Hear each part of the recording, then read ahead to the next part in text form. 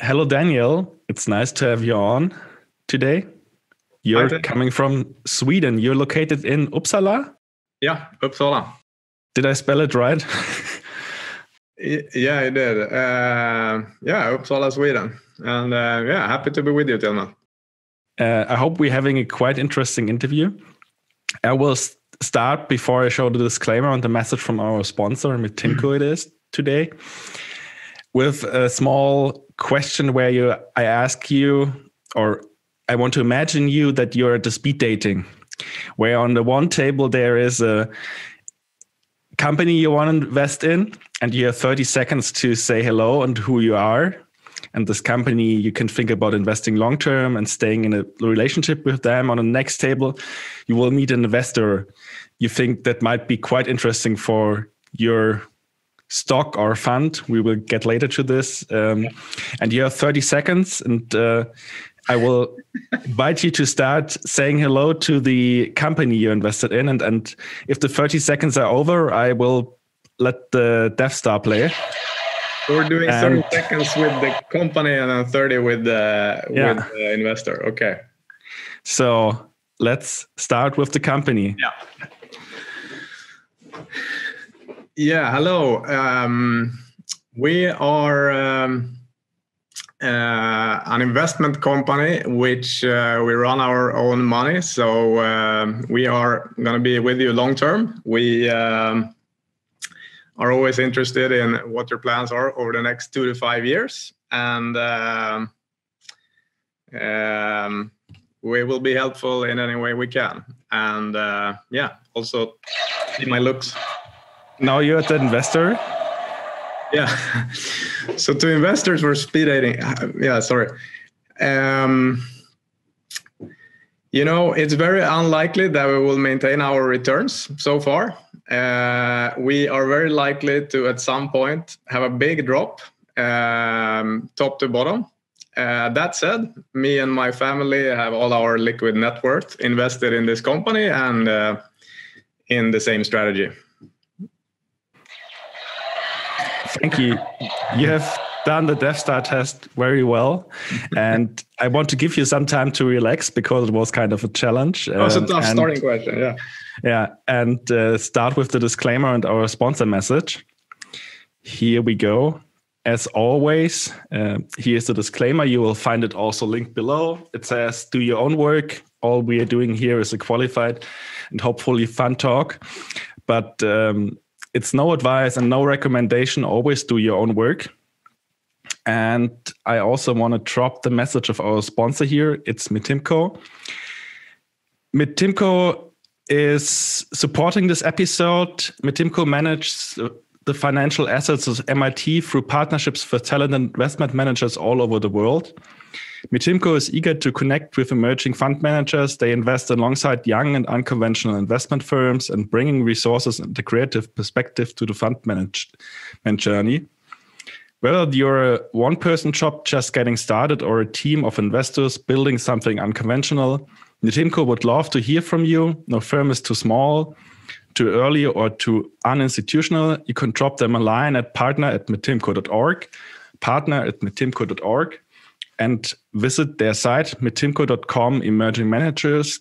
The ones who are watching this video on YouTube already see the site. And I also will link it below in the show notes of the podcast as well. So you can easily reach out to them and say hello. So thank you, Daniel. I hope you had time to relax. And maybe let's start with your background. Who are these guys behind you on the wall? Or there's also a woman. And why do they inspire you? Yeah, there's two women. Uh, they might not have so much to do with my background actually, but uh, yeah, it was a fun thing to uh, you know have some good company here, and I think uh, what all of these people uh, behind uh, have done is they have really gone their own way. Uh, they have um, they are very thoughtful, all of them. Um, and yeah, I guess most of them are geniuses too, in their own ways. So yeah, you might see the two two women might be interesting to lift out. So one is uh, Jacinda Ardern, uh, the, the Prime Minister of New Zealand, so a very young one. And uh, there's also uh, J.K. Rowling, so so the one that wrote the books about uh, Harry Potter. Uh, she um, she came from like almost nothing, like uh, I think she said she she was as poor as one can be uh, without being homeless, and you know was writing the books, and yeah, the rest is history, I guess. So yeah, but uh, uh, in terms of my background, you know, uh, twelve years ago, I uh, I did not know anything about investing, so.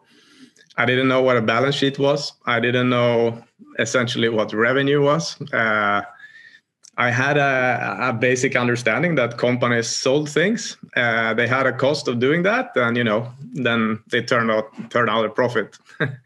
That's about the extent of it. So, and, did uh, books help you to get a deeper understanding of investing? Oh, a lot.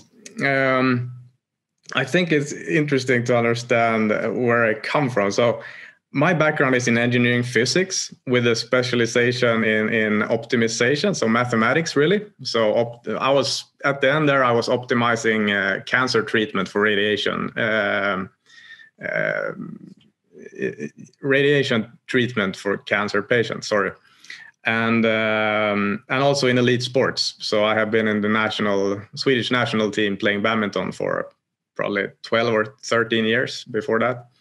So when I um, had my first, uh, you know, bout into investing, I um, I've always liked to walk around in libraries. So when we would go abroad with my family, we would go, you know, they would want to see, I don't know, uh, mom and dad would probably want to see, uh, you know, some, uh, do some sightseeing, see some important monuments.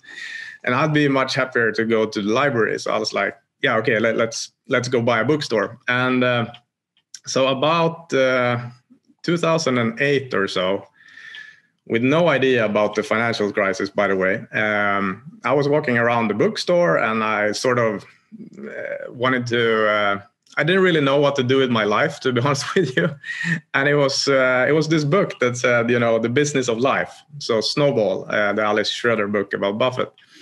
So I picked that up and and um, uh, I, I didn't think too highly of the financial industry uh, at that time. I, uh, and in this book, it was like you know you can really do good in this industry, and uh, it really clicked with me. And and uh, this was somewhere around 2008 9 i'm not sure. Uh, for some reason i put the book down. I you know i felt it was the, it really clicked. I put the book down and i, I can't tell you what i did for uh, two years probably. I, I, didn't do anything investment related. Uh, i met my wife so maybe that was it. Why i never really uh, you know i was uh, newly in love and, and, and all that. So maybe that was it. But uh, a few years later, a friend uh, of mine came to me and he said, "Yeah, you're good with math. Why don't you help me look at this company?" And it was a situation where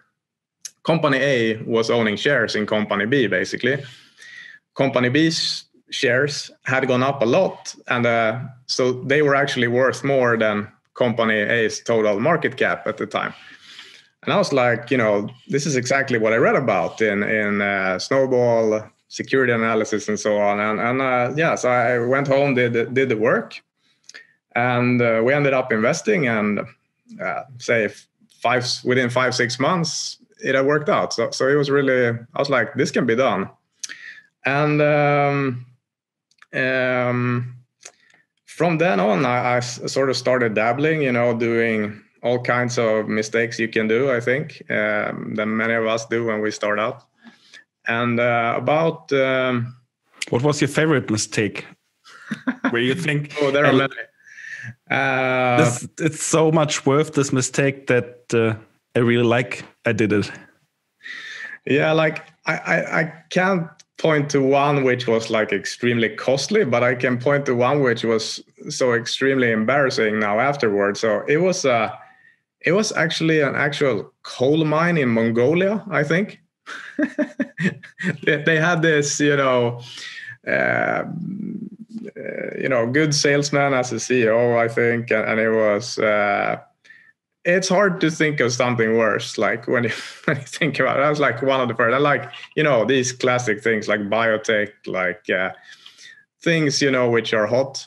So so uh, I did many of those mistakes, but for some reason during those very first years, I also did a few good things. And I realized, you know, when we summed up the year, I realized that so one perhaps the, the investment I was most confident in had actually done really well, you know. It will it could be up uh, 50%, but most of the others were so poor. So we, we were basically break even. So those initial three years, I, I, remember them pretty well because at the end of three years, I think we were up uh, about three or four percent, so about about zero point eight compounded or so, and that was that was good because considering how how little I knew and how, how bad I was, uh, that was a gift, like a free education, basically. So I, I probably deserved to to lose a lot more than we actually did but anyways, I think that one of the key moments there was uh, in, in 2013. So during these years when I when I started uh, looking for for ways that would work, uh, one. Uh, and I, I, had all these, uh, you know, you're looking at some studies, you're you're reading all kinds of things, and there was this one study that was very um, attractive to me, and I felt, you know, now maybe I have it. And uh, I realized that that a study. So, so the study was something about uh, investing in in stocks that would be included in an index or so something like that. I don't I don't remember the details, but basically. When you peeled on a little bit, you, you realize that that was only a, an effect of the financial crisis. So you realize the study was basically uh, flawed, and it was sort of my you know final hope to find something that would work. And and after i realized that that was completely um, uh, yeah, not worth anything as well i went back to this sort of boring portfolio that i was already managing. And i said you know let's try to aim for 15% a year. Um, and so that was the key thing i think that that i sort of came to peace with uh, that there are no shortcuts. You know you just have to do the work. You have to understand more and more and hopefully you know you'll do do well doing it. It's interesting that you're saying that there are no shortcuts. Where did you also are there other topics where you had to learn to go the long way as well in your journey into investing I mean, elite sports is is pretty much the same. Like uh, you know, uh, at the end of the day, uh, the the one that remains. Uh, I mean, the ones you'll see, you know, winning tournaments, winning championships, are usually the ones that that stay the course, right? So um, uh, there is always like 10, 15 years probably behind every uh, championship, behind every. So, so that was certainly uh, one point. But I don't know. I came in with this, uh, I think, beginner's mind, and I figured that there should be some ways to to do this. It it sort of feels like there are maybe not shortcuts, but but you know methods. And at the end of the day, today we, I also have a method, of course, but it's really there's no like uh, magic pill or or it's really just basic work. And if you do it long enough you you will uh, become a little bit better at it over time. And and uh, yeah that that that but that is a big uh, big insight actually i think because uh, it's easy to to try to look for all these you know technical things and and uh, yeah short short term uh, thinking, really, which is doable for some, but extraordinarily hard to do successfully for most, I think. Um, so, yeah. With books, you have a certain chance to get quicker and with a smaller budget to the wisdom of other people. And I asked you before about your three favorite books, and maybe you can show them and introduce to the audience because you have some yeah. Uh, so three favorites are, are really hard, but hang on a second. Well,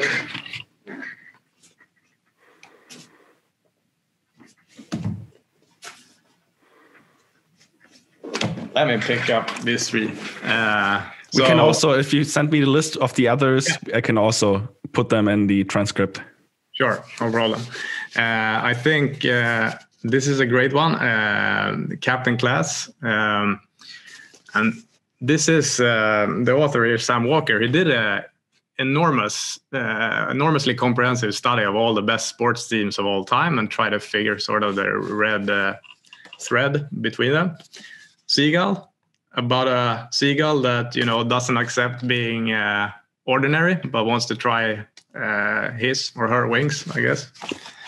And then in, in, terms of investing, this is one book. I don't know if you can see it. It's it's the Pat Dorsey's little book.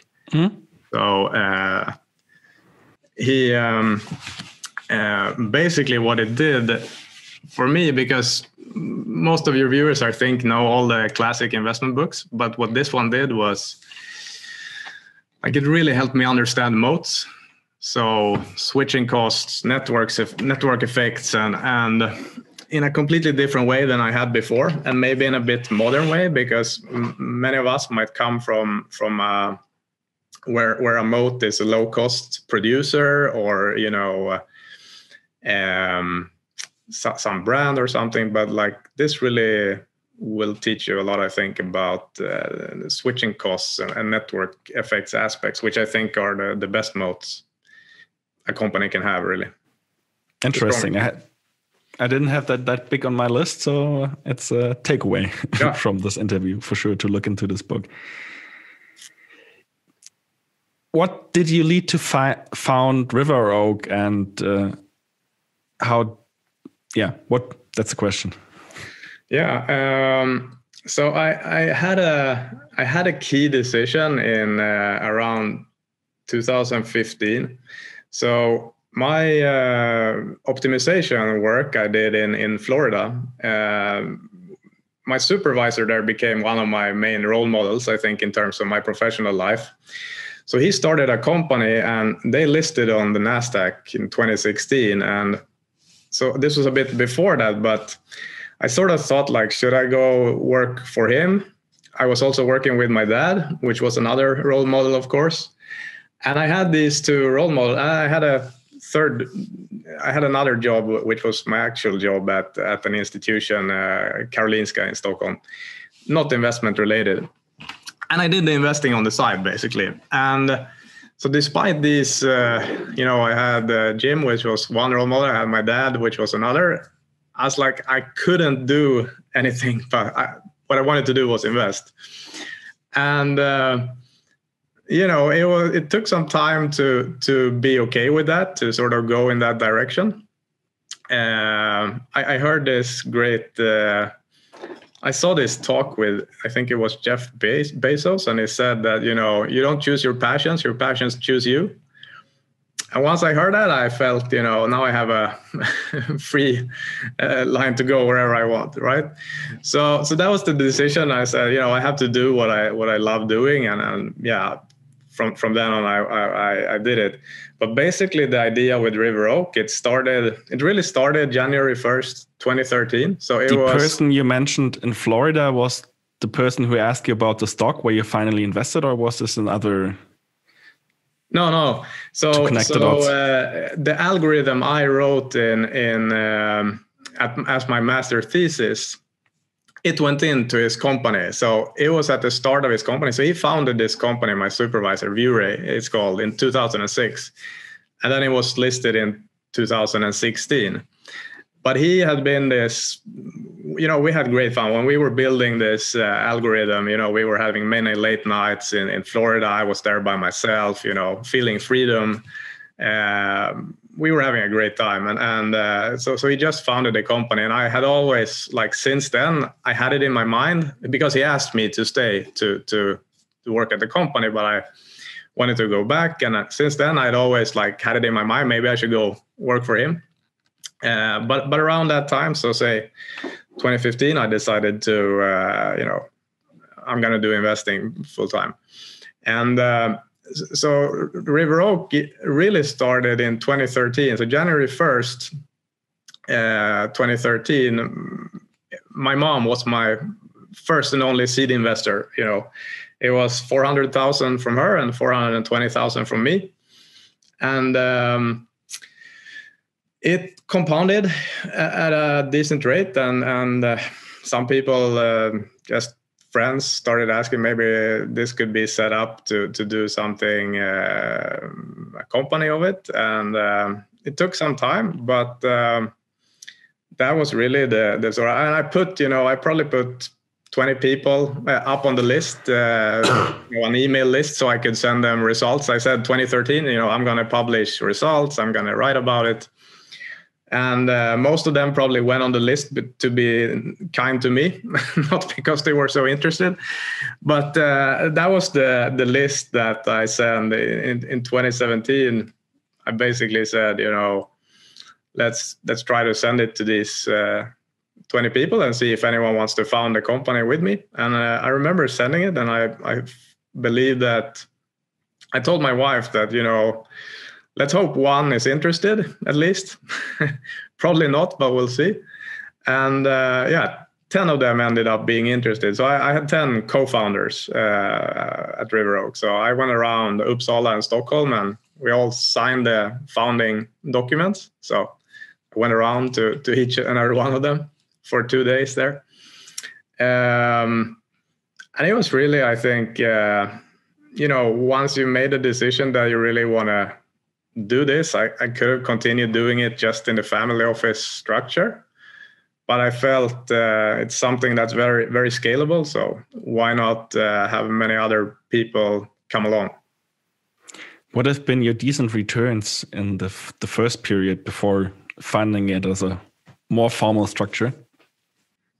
Well, it was about uh, probably it was above 30 below 40 um, i think. Uh, but yeah between 30 and 40 annualized for for those four years or so. That's a good return. It is yeah. And how did you think about setting up the structure? Because you have this interesting structure you're not a fund you do capital rises. Um, maybe you can tell more about this and is this a special structure to sweden Mm, I'm not sure. Uh, I think you can do similar things in, in other. I would think it's a regular company basically, and, and everyone is a shareholder. So there is no function where you have, you know, uh, in, in a big downturn like uh, during COVID, uh, in, at the start of COVID, where many funds would have many huge redemptions.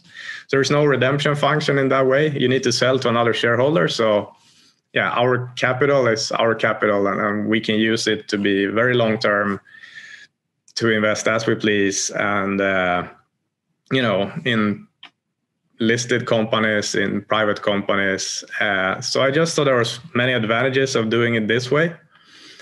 Uh, there are also one or two fund structures, which is is pretty uncomplicated in Sweden, but uh, then you need to go to professional investors which might be difficult to start out doing. So so uh, yeah, and I also thought you know it it'd be fun for them to feel that they're shareholders. You know, so so we.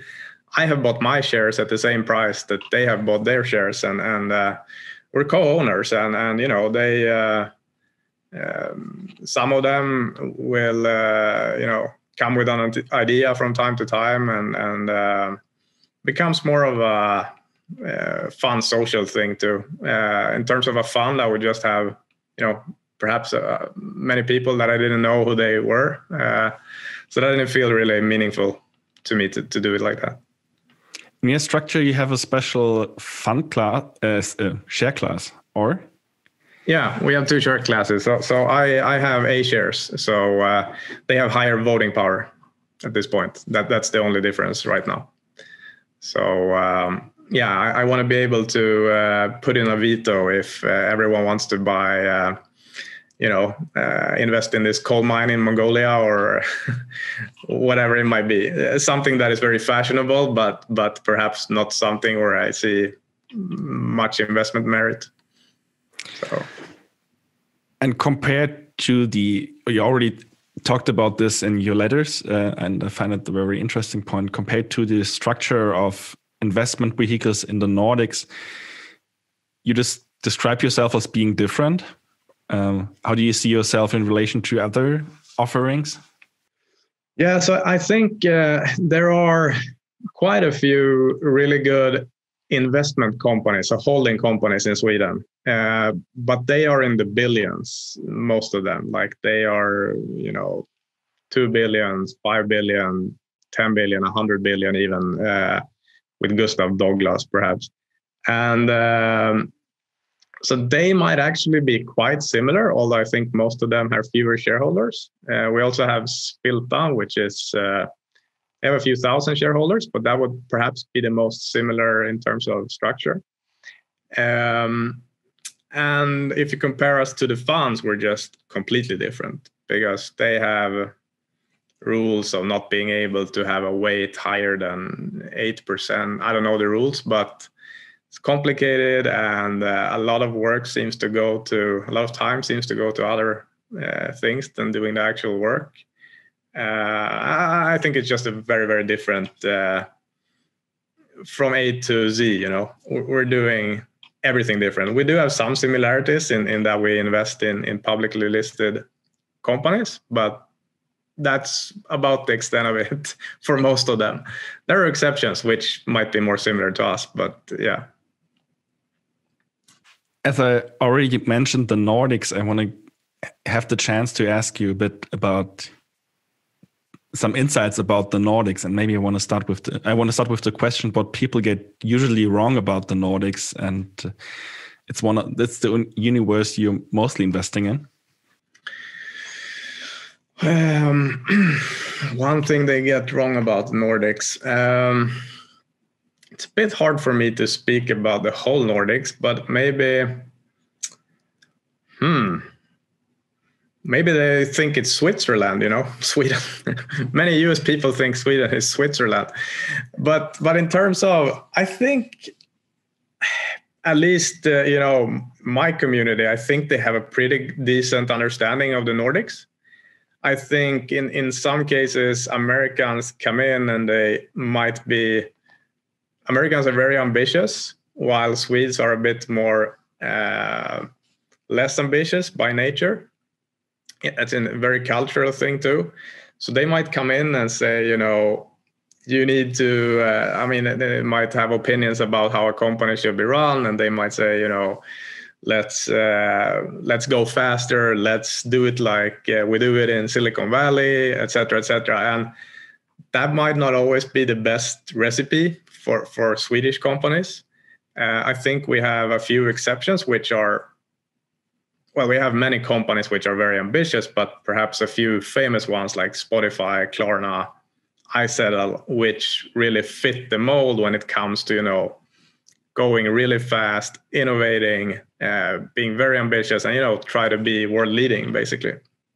But so we don't have many like that, and it's it's not something that comes natural in the sense. So I, I think it's just important for for um, Americans when they not just Americans, but but generally when people come to invest in Nordics, you know, you have to realize that uh, there is cultural factors which uh, might not make it suitable uh, you know the Silicon Valley print, my blueprint might not work everywhere for everyone. Uh, you know, some would argue that it's not working for some Silicon Valley company too. I, I think we we only hear about the great ones that come out of there, right? So so there are for many that doesn't work either. But I don't know if that's uh, something they they really get wrong. I, I actually think most have a a pretty good view and understanding of, of the Nordics as a generally a very well functioning part of the world. And what's the difference between the different markets in the Nordics in your eyes? if you compare the Finnish market with the Swedish market? the language is one big difference. Uh, I mean, uh, I think the Finnish market is less well known. Many companies there are less well known. We are, you know, there's 10 million people in Sweden, and, and in Norway, Denmark, and Finland, there's about 5 million. So, so Sweden is twice the size.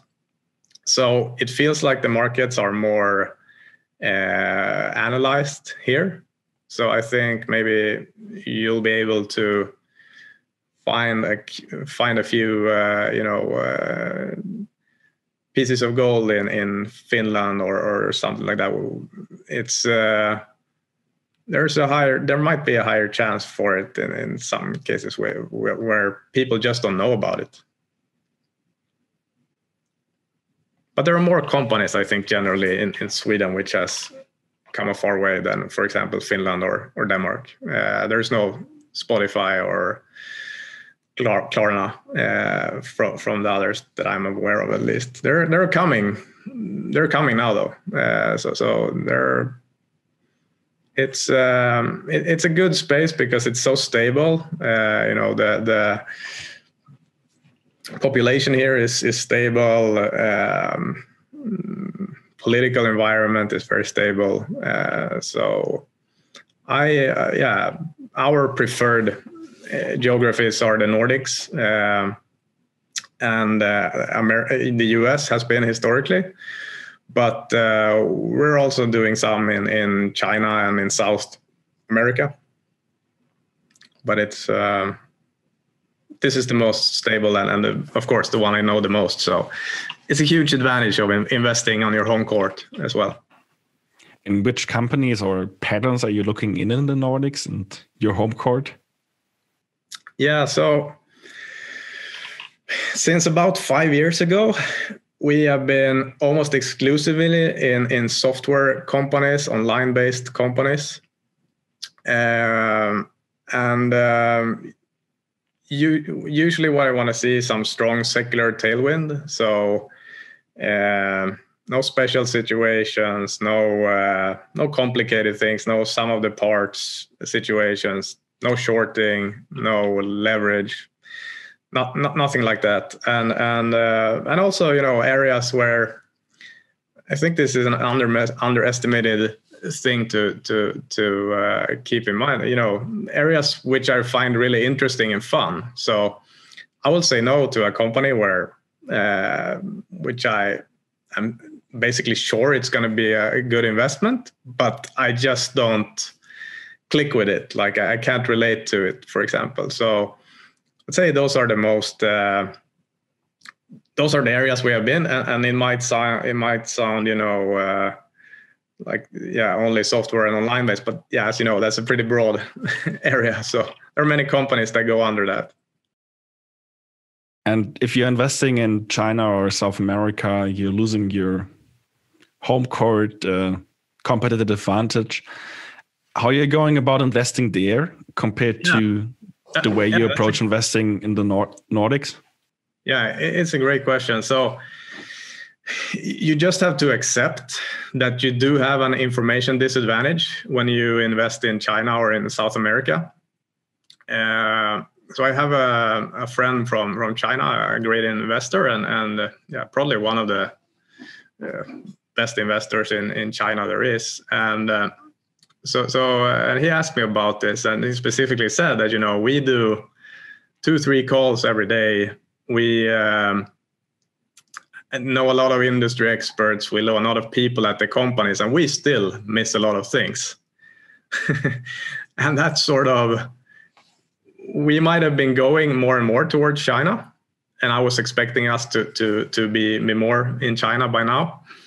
But I sort of realized over the years that you know the only thing you can do there is pr- very well established companies which have a broad, uh, a very broad market, a huge opportunity, and you don't know, you don't need to know all the details. So, so in Brazil, for example, um, there's an interesting situation there with with the payments market. Um, there are two there are a few new companies now, uh, StoneCo, PagSeguro, and, and there's also a private company, Nubank. And it's interesting there because in 2010, this was a, a duopoly basically between two large banks. So one have had an exclusivity agreement with Visa, the other one had an exclusivity agreement with Mastercard. So if you wanted to pay with Mastercard, you needed to go through one of them, right? And if you wanted to pay with Visa, you need to go through others. So stores and restaurants would have two uh, machines, right? so you know, and I guess some of them might have had no machine, uh, only one machine. So if you came in with a Visa card in the wrong restaurant, you might have not been able to pay, I guess. And and they deregulated that, and um, um, you know, not only was there you know these um, uh, machines which were you know you needed to have two, but also like the interest rates and the, the take rates were enormously high. Like you know, I've heard ten percent and you know, there's one. Uh, uh, I read a, um, uh, a former employee at StoneCo said that, you know, I was trying to help a client find their actual take rate in the in the dashboard of these old incumbent large banks, and it was practically impossible. so what what StoneCo did, and and um, to some extent PagSeguro too, I think, they came in and they said, you know, we're going to be hugely transparent. We're going to have a dashboard. We're going to show you your take rate front and center. There's no way you can sort of change that. And, and the, the larger banks, they were actually increasing the rates until the customer noticed. And then they were like, yeah, sorry. And then they took them down again. Uh, so, so it was like very low hanging fruit to come in and care a little bit about the customers uh, and you know, StoneCo has a take rate I think just below two percent, and it's founded by by uh, you know um, serial entrepreneurs. So so they know the pain points of uh, with the larger banks. You would have to sit in line for like two hours, three hours to to fix a simple customer support errand. And um, in in uh, what StoneCo did was like, is, uh, we're going to try to answer it, you know, within minutes and they measure themselves on on on metrics like that. And think when I find out, found out about it, I, I, think it was in 2018 or 2019. I can't really remember. Um, they had a market share of three, four percent, perhaps. And uh, you know they had, uh, of course, nowadays all acquirers accept Visa, Mastercard, uh, American Express, etc. So and and uh, and it was also at a valuation of, of around six billion or so. And I don't need to know that much more than that. Uh, you know, they were uh, taking market shares hand over fist, and it was very simple to understand why once you had done some work there. And it was almost impossible to see um, how how the banks, you know, how many examples do you know of where you have the incumbents with, with a legacy technology, with a culture that says, you know, we're going to raise rates, we're not going to really care about the customers, they have to use us. So, so that would be an example where you know whether it's StoneCo, PagSeguro, or, or the opportunity is just so huge, and you need to have some model, of course, about the valuation. But I don't need to know uh, all details there. So, so that would be the typical situation where um, where I'm comfortable in investing uh, globally. So so uh, in China, for example, you know, cloud adoption. So you know, e-commerce and, and sort of it's going much faster in, in China and and uh, opportunity, of course, there as well is huge, huge. So so there are probably a few companies related uh, on that theme in China, which I think are investable. But of course, I'm not going to invest in uh, something that's, uh, say, um, uh, you know, a billion kroner, which we might do here. So a company with a one billion market cap in the Nordics that's fully investable. That's probably not going to be investable in China. What role does the past play in the way you analyze companies because from what you told till now it sounds you you're a bit entrepreneurial investor yeah we we have a I think we have a particularly soft spot for for companies that enable entrepreneurship. Uh, Stoneco is a great example. Uh, Fortnox in Sweden is another great example of that. And we're so I think I personally have a soft spot. You know, uh, after all, entrepreneurship and and you know small and medium sized companies that's the ones that get our economies growing. Uh, the most part of it, and they I, I don't remember the percentages, but like it's it's probably more than fifty percent of of growth and ah I shouldn't quote the numbers, but but those are the drivers. So and uh, yeah, with some entrepreneurial background myself, I think it's natural to to sort of so, so as I said, I, I really want to invest in in companies where I click with their offering, with their product. Like otherwise, it's not very interesting. And there are many ways to invest and, and make a lot of money in all kinds of companies, but many are not interesting to us simply because because of that. Um, but yeah, regarding the past, I think you know the past for for me it's a data point. So so, uh, but not much more than that. Uh, and of course, a good record in the past is oftentimes means a, a good record in, in the future as well.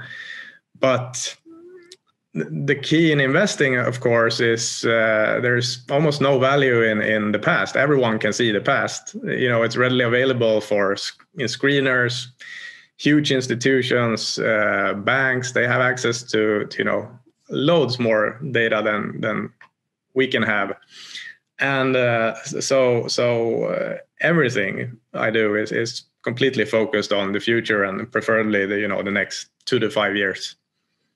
That that's really the basis for all investing. And of course, the past is a good data point. In some cases, a very good data point. But uh, you know, when it's obvious to everyone, there's usually not much value there to be had. So I think in one of your letters you you said you sold Amazon uh, because you saw oh, your advantage in uh, small caps. Um, yeah, you see this op opportunity that there's more advantage in small caps as a rule today, or did it change that you also see there's big opportunity in large uh, caps like Amazon? No, I see it as a general rule that you know small small caps and, and mid caps are going to be much more attractive as investments. Now, this has not always been the case for the past five years. Uh, I'd say pretty surprisingly for many. I I remember when Apple was at uh, you know an 800 billion market cap and and uh, it was really hard to see them you know double that value uh, right? Because you need to add one trillion of value. So, but it happened, and and I think that's been surprising to me. Um, I, I saw their advantages. I, I just felt that. So, so when we sold Amazon in in 2017, and it was right after River Oak had started, I just felt that we're gonna have a bigger edge in in uh, smaller companies, and we don't really need to fight in that pit with uh, you know the 10 largest companies in the world. Uh, and i you know i love uh, most of them to be honest. I mean amazon is is great obviously and and uh, um, they are uh, they are fully investable. It, it just has happened that you know after after that one we haven't invested in the really huge ones but it's fully open to do that. I think that should rather be regarded as a mistake than anything else, perhaps in the case of Amazon. Um, but you know, um, this is uh, will will tend to be focused in small and mid caps for sure. Uh, but uh, we will also have the occasional large cap. Interesting. I'm not against that at all. Yeah it's just that like there is if you look at the case of amazon i think it was uh, don't remember the exact market cap but so it's probably tripled since then or so and uh, the thing is that like the execution needed for that triple I don't think many could see that. Uh, the execution needed for a triple in a small cap with a 1 billion uh, market cap, of course, is might not require as much. I think this, I mean, in the case of Amazon, it's probably a unique, uh, unique situation in in uh, history of business. I think. You, with your return and what you told about certain companies, you have a certain talent to pick some winners uh, in your portfolio. How are you going about winners? When do you think about selling them?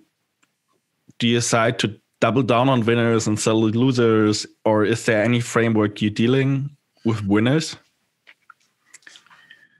Not, not really. Uh, in in the sense that when I invest in something, it's always a, a, matter of what do I think the earnings power is in two to five years? How does the competitive situation look? You know, the moat, the runway. Uh, and let's say a few years later, and that particular company is up 200%, I will do the exact same analysis three years later. I will say, you know, so how does the situation look over the next two to five years? moat? Uh, is the competitive position better or worse? Uh, will it last? Will, will it erode? Uh, and uh, of course, uh, there's the valuation component as well. And, and uh, but that's taken into account exactly the same way, whether it's a winner or a loser or something in between. So it doesn't affect in any way. So I'm just as likely to you know double down on a winner as uh, on a on a uh, as as you know doubling down on, on something that has done less well, and the same thing about selling. Now I, I'd say we do not tend to sell often. Uh, that's it's become less and less, and I'd say per year we probably sell one or two or at the most three companies and it's usually it's usually a situation where we have found something more attractive or just a, a, mistake in the sense that what I believed was has proven to to be wrong for some reason it might not mean that you know the invest that that, that the investment uh, merits look poor from this point, but I, I could sell if I misunderstood something, and, and that happens. But yeah, it, it is boiled down to about one, two, or maybe three per year, and hopefully that goes down even more. That's preferable. So of course, it comes to the question like, uh, yeah, if you have good returns and the valuations go up, at some point, uh, companies become uh, too highly valued, and, and, that's true. And of course, there's some price for all companies where we would sell out of valuation alone. But um, I tend to think about that. You know, if you're if you're right about a, a, company's runway, about its competitive position, about its uh, you know business, you can basically use you know I get teased because I've never used the DCF evaluation method. I, I don't I don't I don't think I even know how to do one, to be honest. You can use the DCF. You can use uh, something based on multiples. You know, you think something is worth 20 times earnings, perhaps uh, you can use you know the second moon landing uh, and you'll still end up with a fine result uh, after a long enough time. And the say and the opposite is true too. If you're wrong about these things if you're wrong about the competitive position if you're wrong about the, the business and the, the culture there no matter how great your valuation method is you know even if it's exactly right you're still not going to do very well. Um, and I think perhaps uh, uh, Charlie Munger has put this really well. Is basically he basically said something along the lines of if you invest in a company with a 20% return on capital, uh, even if you pay a high price, after a long enough time, you're as an investor are going to end up with 20% returns as well. conversely, if you invest in something uh, with a six percent percent return on capital, no matter how cheap price you paid, you know, if you paid a few times earnings, you're still going to end up uh, after a long enough time with about six percent. So uh, that's the key, and uh, I think while I might have come from from a background, you know, uh, old value school, if you want to call it that, you know, uh, Buffett, Graham, of course. Um, you, you, valuation might have been the first thing I looked at, but around I would say 2015 that changed, and you know what I do now is is uh, all the other things have to check out first. Then you check the valuation of course i want to be sure that it's not something before i start and, and make a project out of it i want to make sure that it's not completely out there you know? So uh, no matter how good the business is i'm not going to invest. But usually that's not the case and i think that's that's the last thing uh, when we make an investment that i look at. You have jeff bezos behind you if i'm right with uh, with identifying this picture. Yeah. And he's one of the outstanding managers and the good managers. What role does like management play in your process? Is it a bit like Rob Vinall, who is also looking for the good managers, or? Uh, it's always great to have a good, ma- great management team. Um, it's it's it's not necessary to do very well. I'll, I um, uh, I can segue a little bit into to Fortnox. So this was an investment we made about five years ago. Uh, since then, they've had five different CEOs. there now we have the fifth, and uh, you know the company has done absolutely fantastic. So uh, the management is always great to to to. Uh, it's great if it's great but but it's not the most important thing uh, for me. It's uh, it's ahead of valuation, but below sort of competitive position, uh, network effects, switching that sort of thing, and the runway of the opportunity and, and demand. Uh, I mean, how sure am I about the future demand? But but it's wonderful if you have someone like Bezos or what else do we have there? Yeah, Buffett on the. Uh, that's that's great to have, and, and I want to see. I want to have a CEO that is hungry, you know, that's ambitious, that doesn't. There are very few CEOs like Bezos, uh, but as long as they're very hungry and you know they go the, their own way in, in their business if they really understand this little small business here you can i mean there are many many ways to be a great ceo in my mind and and uh, it's of course one factor out of many but not the most important one.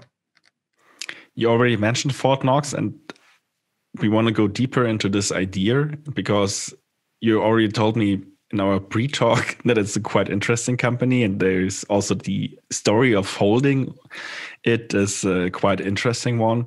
So maybe we can start with what's the business model and how did you get interested in this company and when? Yeah so so um, it's a bit of a coincidence how i got interested in it because so, so they do a cloud cloud software for accounting for sending invoices for paying salaries all things that a small business can want to do.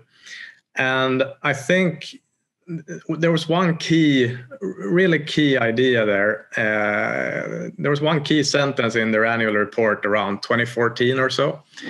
And it said that in, in a big survey, they had found that out of all companies in Sweden, only 12% were, were using cloud software for accounting. 12% and this was 20 yeah 14 or 15 and I, I couldn't i saw no reason why that wouldn't be at you know close to 100% some point in the future. Um, so there's about a million companies in sweden. At the time they had a little bit shy of 100,000 customers. So, you know, it was clear to me that that 12% number would go up a lot. That that was the, really the key thing. The the and then also my wife started working with the software, so I, I sort of saw how I, I saw that and I could compare it to the competitors because remember this was 2015 and you were not seeing the type of sales multiples we're seeing today. So at the time, Fortnox was considered enormously expensive, uh, eight times sales. Today, we some might say, you know, eight times sales, that's not so much, right? Uh, for many different reasons, and and, and uh, that's a longer discussion. But basically, uh, at the time, you had uh, it had sales of 100 million. I was paying 780 million or so for the for the whole business, so eight times sales. That was like scary scary business right? I had never at that point invested in anything close to that expensive. But the thing is uh, it was eight times sales but really what i saw is in perhaps three years number of customers will double the revenue per customer will go up 50% so you'd have revenues of 300 million in 2018 and you I, I remember I thought it would make about hundred million of earnings that year, so three years out. So I was really paying eight times earnings. I wasn't paying eight times sales. And now everyone would agree that you know if you're paying eight times earnings for a company that's growing like wildfire, basically because of this underlying trend that it's uh, yeah the 12% was bound to go up basically everyone would say, yeah, of course, if you have a, an average, uh, you know, not so fast growing stalwart company uh, trading at 20 times earnings or 25, everyone would say, you know, yeah, it's enormously cheap, right? It should be trading a, a lot higher than the average stalwart company. So, but at the time, it was eight times sales, and, and that was scary. But yeah, the key there was to and I might sound like it was easy, but it wasn't easy at all. Uh, but but it was it was the, the only reason you could do that is because yeah the opportunity ahead and, and yeah what do you believe the earnings will be i think actually this year they will probably have earnings of around 300 million so you're really paying like 2.5x uh, 2020 earnings uh, back then uh, and again this goes back to if if something is obvious to everyone, you know, there's not going to be much value there. So you want to avoid those situations uh, as much as possible. I think, like if it's if it's extremely obvious, you you want to find a reason why it's obvious to you and, and not to anyone else. Like why why do you think you have found it? And there are millions of other smart people out there. Well, why?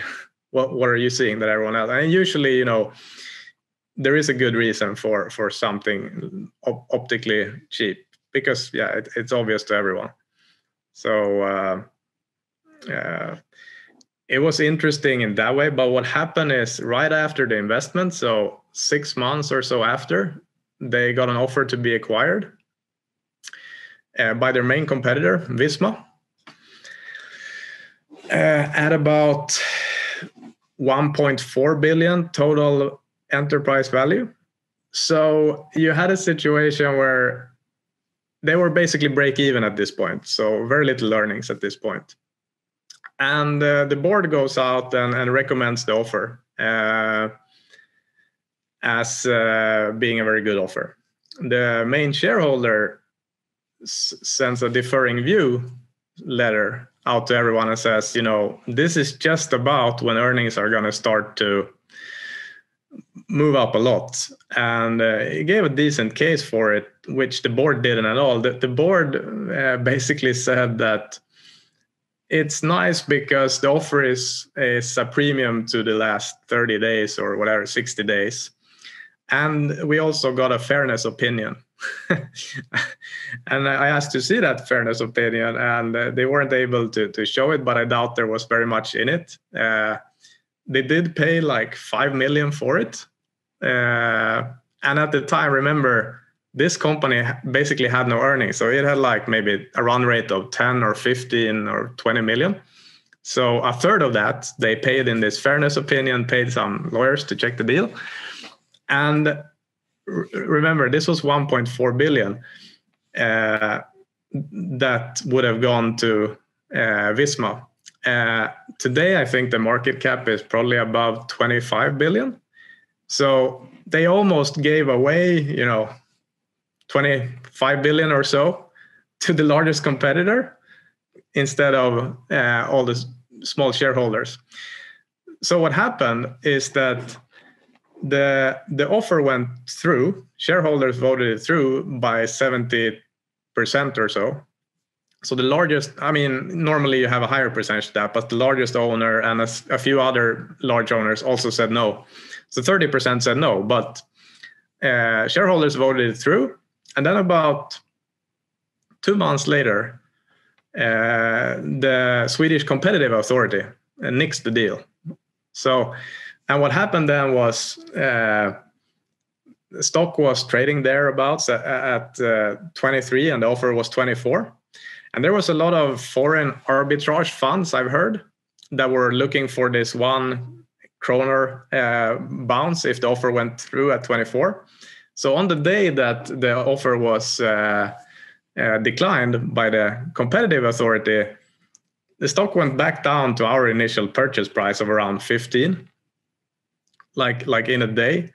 So we got we got to buy back uh, at that price, and yeah, we had sold at 23 because I didn't want to be a minority shareholder under this Vis- unlisted Visma company.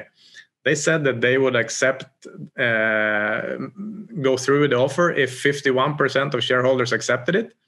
So you could have a situation where you were there as a minority shareholder owning your shares with no influence with, with uh, yeah you're in the hands of, of Visma basically. So we were able to sell at 23 it went down back to the initial purchase price and yeah from there uh, it's it's done what it's done. And basically if you look at it today uh, that board yeah as i said almost gave away 25 billion. Luckily you know the, the competitive authority uh,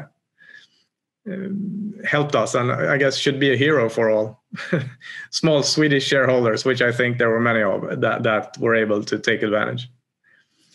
Um, yeah. After this interesting twist and turn story, how yeah. did the, if you're looking back, how did the perception of Fortnox change? Because at this time they were some kind of not profitable company um, yeah, they just turned profitable, but like it was in the probably millions or at the most a 20 million run rate or so. Uh, so I don't I don't really know how the perception was before 2015, but my my sense is that it was always very highly valued, like at a high sales multiple, one of the highest. But uh, but it was scary for people to to look at those things at that time uh, at least in a very different way as what it is today. And I think you know, at the end of the day, Sweden is is Sweden, and we, we don't have thousands of companies like that. We don't have hundreds of companies like that. And I think what what investors realized is if you have a company that every quarter delivers like that, you know, no sign in in a decrease in in in the growth you know customers are are running over to to become uh, users. Uh, at some point and i can't say if it was 2016 17 or 18 but at some point it was like this is a very very different company and, and it certainly deserves a premium. I'm not one to say whether it deserves the type of premium it, it currently has but but uh, it certainly deserves a, a, high premium to not only the average company but the really good companies and great companies as well because um, it's hard to think of uh, uh, companies which have a higher switching cost you know you're you're very unlikely to change uh, an accounting software uh, the network effect here is great because they are selling through a lot of accounting agencies. So they have the 12 largest accounting agencies as resellers, basically, and a lot of under uh, a lot of other accounting agencies as well, uh, which, which resell for them. And the more that use it, the more likely is. So when I started, when we started River Oak in 2017, and there was another company we started in 2015. Uh, I didn't really have the choice. It was basically the accounting consultant said, "Yeah, here is the accounting software. Let's go." It's like, okay, great. It costs 99 a month uh, for the accounting service. Another 99. This is kroner, so 10 euros. 10 euros, yeah. 10 euros. I was just like, what? it's yeah. yeah. So so 10 euros for the accounting, 10 euros for uh, invoicing, and this is all integrated. So when you have an invoice, you just book it. It's already booked. Um, you're never going to switch because of that, the price or or convenience or or you know, and all the consultants know it. And not only that, but I think so. So one one thing that I always look for in all investments is um, something I read in one of Steven Pinker's books. So about consumer surplus. So think about uh, your washing machine, right? Uh, you might have paid 500 euros for a washing machine. Uh, let's say 500 euros. Now, if I came to you and I said, you know, Tilman, I'm I'm going to take away your washing machine. Uh, how much do I have to pay you for you to be without your washing machine the rest of your life? like it would not be 500 euros, right? You would probably demand, you know, a hundred thousand, or, or, like you wouldn't do it. Mm-hmm. And uh, and the same is true. Like, uh, think about Google. So you're you're we're not paying anything for it. If I said, you know, Tilman, I'm going to take away Google for you, and uh, you know, how much do I have to pay you for not ever using Google? It would be in the hundreds of thousands, right? And for companies, it would be in the millions. So there's a huge, huge consumer surplus in terms of the value they get uh, versus the price. And uh, of course, this was really the case here as well at Fortnox because uh, consumer surplus there is like, I mean, they could probably easily raise prices um, 30, 50, 100% over time with almost no churn f- for for the simple reason that it's not worth the hassle to switch. Like there's all, already so such a huge value there. So um, yeah, those were those were sort of the main uh, main things, and I, and I think more and more people have realized that over the years, and it has become repriced not only in terms of earnings having gone from zero to 300 million, but uh, the premium has gone up a lot as well because people realize the advantage of, of having 30, 40% of the small companies in Sweden and, you know, cross-selling of that and stickiness of those, those customers as well. And, and great company too, like very entrepreneurial culture and uh, they've done a phenomenal job. So it's really fun to, to be a shareholder with, with such a company uh, in many ways. In the story you told me, there's also your younger you that's a bit shy investing in such expensive companies and made the first step into this world of the higher quality companies with the great growth. What enabled this investment in Fortnox for you to be able to invest in other companies that are have the same opportunity set?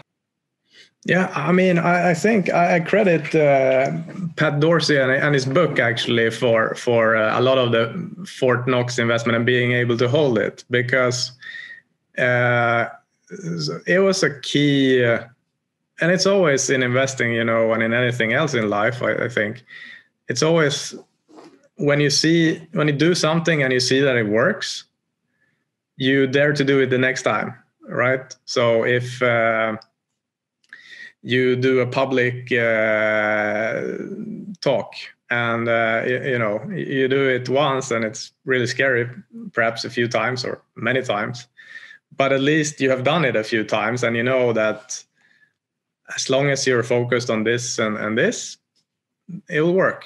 And I think the same was true here because it was really simple if you looked two, three, four years out. There was no, uh, I, I didn't do any there were no crazy assumptions or, or difficult assumptions even. Uh, i think anyone could have done it but i think most were looking at perhaps the next quarter the ne- next year rather than and the sales multiple. You know uh, the, the, valuation based on on the current year's earnings which is really relevant in in fast growing companies. So i think that was a key moment because I, I and I it, it felt good too to, to as I said there are so many reasons why it felt good because the business risk is almost zero in such a company. If you're paying five times earnings for something, you're going to have a big business risk usually. So it might not feel as good uh, for many other ways. You know, you want to sleep well, you want to feel good about your investments, you want to uh, you know, be able to look your kids in the eye and say, you know, we only invest in in company that in companies that we believe that I believe are doing good things uh, and you know providing great value. So so you know, typically avoiding those that you know charge you a 12% take rate or whatever it was in in Brazil. Uh, so so it's a combination of you know seeing that it works uh, having all these variables which i think are, are stronger uh, carry stronger investment merits like a very strong network effect a very strong uh, high switching cost uh, that carries more weight to me uh, than than uh, you know paying eight times earnings or five times earnings or, or whatever it might be. So so um, it took some time and i i don't want to say it was a simple transition in any way uh, but um, and, and to be clear i prefer we do of course prefer the five or eight or 12 times earnings if we have all these qualities that we want to have. But uh, so i don't have anything against that at all. It's great if you can have it but usually you can't. And and if you look at many of the largest success stories we have in the world today. Look at Amazon, you look at Microsoft, you look at Google, you look at Netflix. There are very few moments over the past 10 years where you've had a chance to, to buy them very, very cheap, right? So the, the risk is just as if you're waiting for this uh, big once in a lifetime black swan, which really crashes the markets, the risk is that you're going to wait, you know, until you have gray hairs and and uh, your kids are all grown up and, and you're about to uh, thank you for yourself. So it's uh, yeah it's just uh, it's the one variable I, I, would you know be be uh, more open-minded about uh, in ter- especially if you come from my background perhaps many of your of your viewers come from this background of, of, uh, you know the, the Graham background where where you're really trying to do it quantitatively. It was a whole different business case back then to do something quantitatively because uh, there you could have an information uh, knowledge edge, right? If if you just know knew some data, this is not possible anymore. So uh, yeah, I think to, to find a really good investment opportunity of the day, you really have to look for these things, which are not obvious, which might sound extreme to, to many people, but which are actually not that strange and you're not making any crazy assumptions. I mean, I'll tell you one example I heard about uh, COVID when it came. So, in the beginning, the number of cases was doubling like every two or three days. And everyone agreed that that was the case and everyone agreed that we had X cases uh, on, say, uh, March 15. And when you did the math, by April 15, we would have millions and millions of cases. It was very simple math. but and this was, I think, uh, what's his name? Uh, Paul Graham, uh, Graham of Y Combinator. He wrote something like this. This is exactly what happens when you when you tell a friend about this, you, you tell them, you know, we have uh, 100,000 cases today. They're going to double every three days. And uh, they all agree on those two points. But when you tell them, yeah, so that results in 5 million cases on April 15, they'll say, no, because it's not intuitive, right? It's not obvious for everyone. So, so yeah, I don't know if it was a great example, but it's sort of, Uh, it's certainly a case where it's not obvious to everyone and, and there is a lot of value to be had usually. You started with a Graham like toolbox of instruments and frameworks and yeah, stuff like that. What kind of tools you're not using anymore and have thrown out of this toolbox you you're having now? well, I mean, I I could probably even I probably even had some rule that say I'm never going to pay more than eight times uh, this year's earnings, which is really stupid to be honest, uh, or next year's earnings. Like uh, those type of quantitative rules, I yeah, those are definitely out. I'm not sure if I had one of those, but I probably did. So that's certainly one that's that's out. Uh, and in terms of mental models or concepts, frameworks. Yeah, but I think even with with Graham, it's it's really interesting, and perhaps not too many know this. Like he had he ran a fund for 10 or 20 years. He had very good returns. But at the end of it, you know, of course, he made the investment in Geico, and the profits from Geico surpassed all the profits accumulated from all other investments combined. So I think if there is one big takeaway from that, uh, that's it. Like you have you found one company like that with with this enormous opportunity, this enormous runway.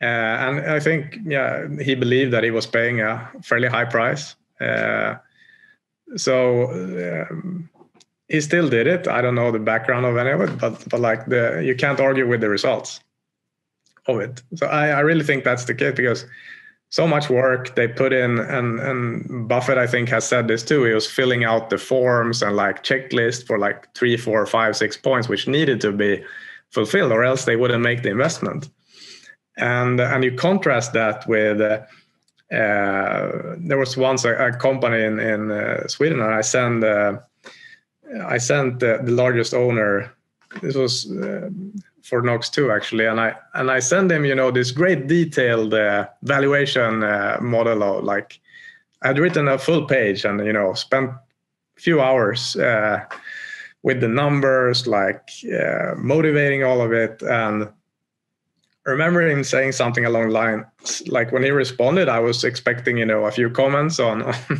three or four of the assumptions I'd made. And it was basically just like, yeah, uh, nice work. I think the earnings will go up a lot from here.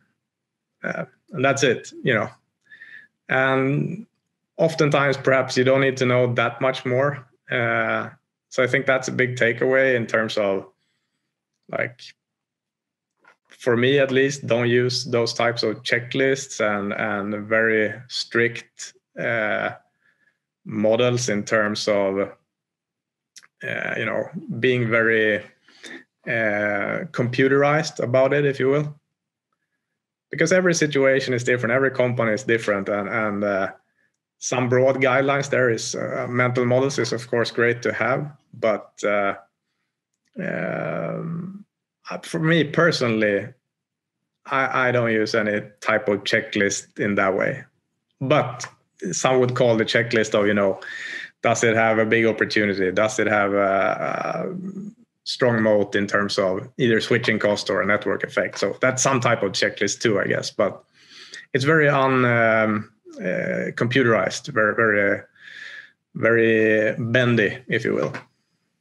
Yeah, I have the oh. same structure, and it's more having a set of questions you you often ask, but not a checklist and. Uh, yeah, sort of open-minded checklist. I'd, I'd, call it uh, because because it's it's different. Even if you're at a very similar company, the ones we've spoken about in Brazil or in Sweden, you know, they're going to be the ch- checklists are going to be different, right? Just there. So, but yeah, the, the overall, I think, uh,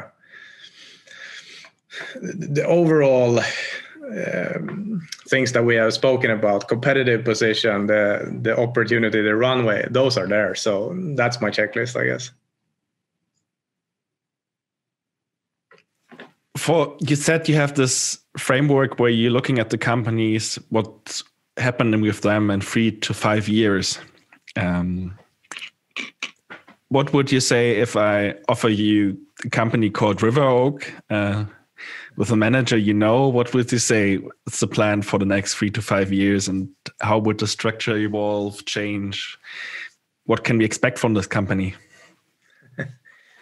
Oh i think uh, you know we're uh, we've started something. So so i mentioned you know 2013 so it was uh, 800 and something thousand 820,000 and it's about uh, 140 million today.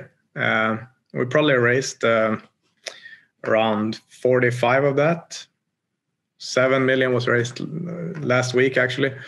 But but yeah so it's gone pretty fast to to where we are today. And uh, um, but we're still tiny i think in, in the big scheme of things. So so there is you know uh, a long runway for, for growth in that sense. Uh, and uh, I doubt that the structure will, will change much. There could be some parallel vehicle, perhaps, uh, geared towards larger investors, perhaps. Um, and the two would cooperate, I think. Um, but you know, I think mostly it's just uh, you know keep having fun every day, keep improving and evolving every day, and uh, you know hopefully in, investors are, are happy with with the way it's it's developed so far, and and hopefully something similar can be attained over the next uh, five to ten years and. Uh, there's no grand vision in terms of you know reaching a certain uh, amount of assets. I, I, don't think that's a very meaningful goal, and you, and you also want to be opportunistic in terms of opportunities that come up. Like so, uh, it's possible certainly that we will do some private investments in, in small Nordic companies, but uh, for now, I, I, think it's it's mostly more of the same. And I'm, I'm happy that we have uh, we have investors from many uh, companies now, even three continents. So you know, hopefully add one or two continents maybe. And I hope the Arctic as well at a certain point um, that you have the sixth continent uh, in yeah. your fund structure. That would be something. Yeah, I, I hope we can. Uh, perhaps we can do a field trip there. Uh, what I want to go with the last question to these optionalities or these opportunities you're seeing. You mentioned investing in Swedish small and mid caps directly. What other opportunities are in your head? Um, uh, so I think to to uh, we're we're mainly focused in the Nordics. I, I, think we will continue to be focused in the Nordics, but it's certainly possible. You know, when when the world opens up again, uh, I was planning we were planning to do a trip to China last year. Uh, Brazil is on, on the list too, and and those are two interesting very interesting geographies that I know somewhat now after a few years of studying them. Uh, so, so yeah, when you become more familiar like that, it's it's oh, certainly opens up the door to to do more there, and and there are loads of opportunities there, I'm sure. Uh, but just simply because of the fact that that uh, yeah, home court advantage is is so big after all. And uh, probably, if you take all accumulated profits since uh, you know over those past eight years, I would say that more than fifty percent have come from the Nordics.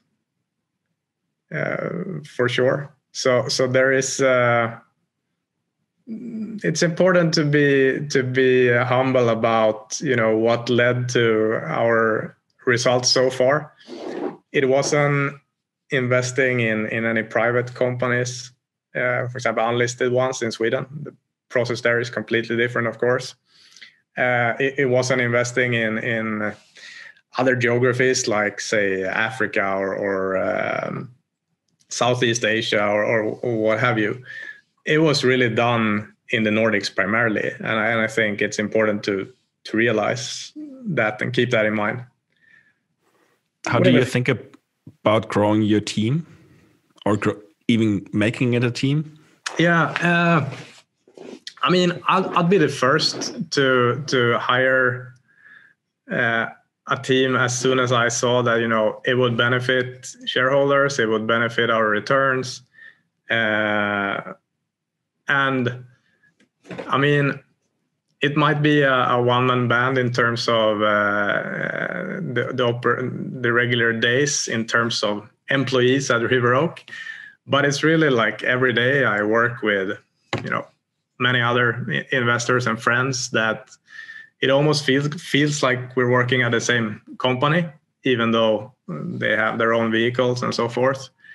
But uh, if if you didn't have that social aspect, I would hire someone tomorrow, without a doubt, because uh, yeah, it's a lot more fun. I do think at the end of the at the end of the research process, uh, I like to say like when you find out about the company name, it's a key moment, of course, in the terms of making an investment. But about it's about one percent of the work. So you have ninety nine percent of the work left to do yourself, and uh, so, so, when you do when you do that with uh, uh, some of your friends, some of your colleagues, I do think at the end of the day, it's great to have one decision maker in terms of you know how much do we allocate. It's very difficult. Uh, I mean, let's take you and me, Tilman. We have uh, different backgrounds. We have very different uh, knowledge in terms of you know what industries we know, perhaps. Like it's pretty difficult if if you come with 50% of the portfolio and I come with the other 50 like how do we allocate that how do we come to agreement? So I think there are a few cases where it's been done and it's it works very well. Uh, Ocean Link in uh, in China is one I would mention that comes to mind. There are two people there that they think very very much alike, so I think then it can work. Uh, but they also have some differences, I think, in terms of um, you know their personalities, which is a can be a great compliment But I think it's hard to to make that work and make it work really well. At least I don't know too many examples of it. But I love to do it, so I, I might. we'll see. Are you taking interns? Uh, not so far. Uh, we have uh, we have had the uh, question up. Um, and it's probably on, on me. We have a board, so we have discussed it, uh, and I took it upon me to to uh, look it up, but I haven't gotten there yet. So thanks for reminding me. Might be an opportunity also for an interested viewer who made it till the end of this conversation to reach out to you if you're okay with this. Yeah, for sure. Okay. And I think preferably located here in in in Sweden. So there's an opportunity for the people who you this interview to the end. I wasn't. do you want something to add for the end? No, I mean um, it's uh, if they um, if it's a good match, we're we're absolutely open to to to doing that for sure. I am. Um, so yeah, good idea. Do you want to add something to the general conversation as well? Hmm. I don't know. Are you gonna? Uh, we started with your speed dating question. Mm. I, um, do I have something to add here? Oh, I think. I mean, uh, if uh, if I look back at the sort of key moments I, have uh, spoken to here, uh, you know, there there was this uh, uh key moment of, of stop taking shortcuts. And the other key moment of like really doing what you love, I would say, you know, if you want to do something well in life, and most of us want that, uh, even you know, some of us are more ambitious, some of us are less ambitious, but I think we all want to do. Uh, you know, we all want to do our jobs well, and the best way to do your job well is to really love what you do. You, you're never gonna be able to do great things in a job you you don't love. I think that's uh, uh, something I certainly taken away uh, from life at this point, and and uh, it keeps proving true over and over again. You see so many examples of it. So maybe that. That's a good word for the end. Thank you very much for your time, and thank you very much for for the viewers taking the time to watch this video or this podcast. Thank you. Thanks a lot, Tilman. It was a lot and of fun. Anytime. Bye bye to you. Bye. Bye, Tyler.